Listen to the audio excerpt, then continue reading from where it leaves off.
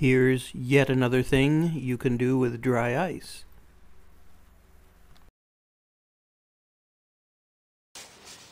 Big old cookie sheet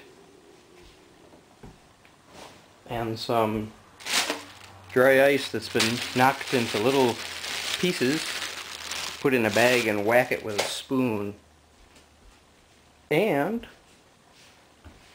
a big old pot of hot water so let's put about a quarter inch of hot water in the cookie sheet A little more oh and I sprayed this spray painted this cookie sheet black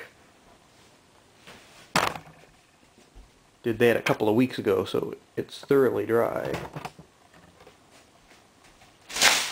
Dry ice chips.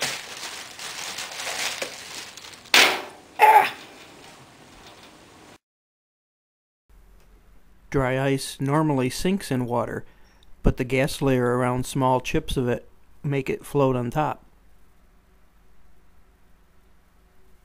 It also gives a good picture of early primordial solar system with comets because each chunk has little jets that drive it into rotation and the jets make all the dry ice chips repel each other.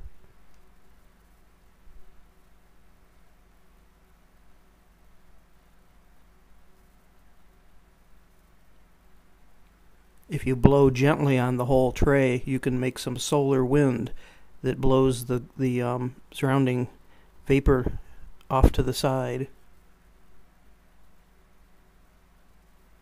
Here we have two comet nuclei with asymmetrical jets. Got a little too close and stuck together.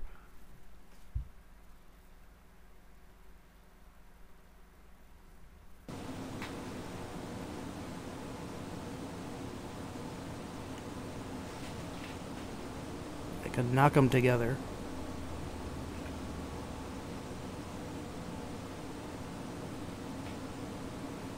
you can really see the jets on this one that are propelling the rotation.